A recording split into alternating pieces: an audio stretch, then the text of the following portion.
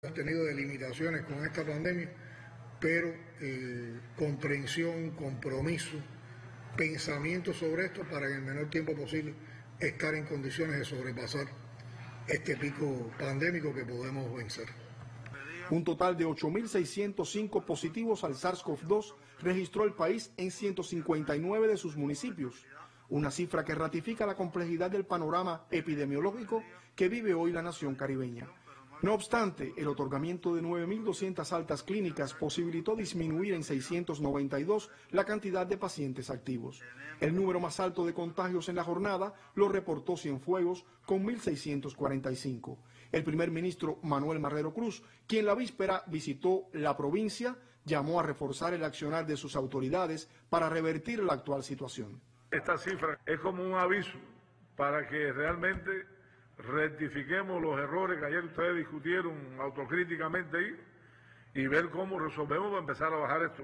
Me imagino que ya ustedes están viendo, revisando los planes, lo que quedamos ayer. Yo le informé al presidente de que nos pareció que hay un dominio de la situación todo, pero bueno, como pasa, hay cosas que no, que no funcionan bien, como es este tema de la movilidad. Tenemos que ver cómo enderezamos los errores que discutimos ayer del funcionamiento del sistema de, salud. Otro de los territorios más complicados en el enfrentamiento a la enfermedad es Ciego de Ávila.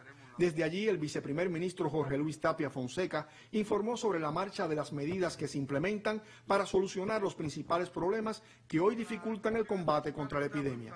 Ya el tema de los médicos y la familia, con excepción del primero de enero, que debe resolverse esta semana, que nos quedan 11, y aquí en Ciego, que nos quedaban cuatro, el resto de los municipios debe ya completar en el día de hoy, cuando hagamos el chequeo ahora aquí, debe tener todos los consultorios cubiertos, unidos al trabajo que se ha venido organizando, del trabajo de los delegados, un director de empresa a nivel de circunscripción, con los factores de la comunidad, comprobando la pesquisa. Ya tenemos un nivel importante de circunscripciones que ya tienen la pesquisa actualizada por los grupos de trabajo comunitario y con la incorporación de los médicos. Los centros de atención a los pacientes todos los días se están inspeccionando. Y ya la situación es más favorable en cuanto a la atención a los pacientes, la limpieza, la alimentación.